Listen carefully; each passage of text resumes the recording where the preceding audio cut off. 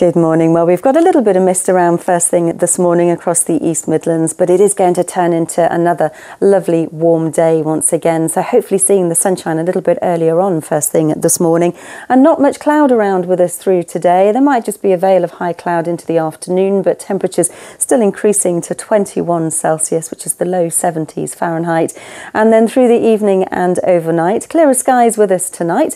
Again, temperatures dropping down to around sort of five or six might just see a little bit of mist forming again into the early hours. The odd fog patch also likely, but it is going to warm up over the Easter weekend. In fact, Saturday is when the temperatures are likely to peak. A very warm weekend and the weather staying dry up until Easter Monday as well. But into next week, we start to see things changing again, turning a little bit more unsettled with some rain and cooler temperatures.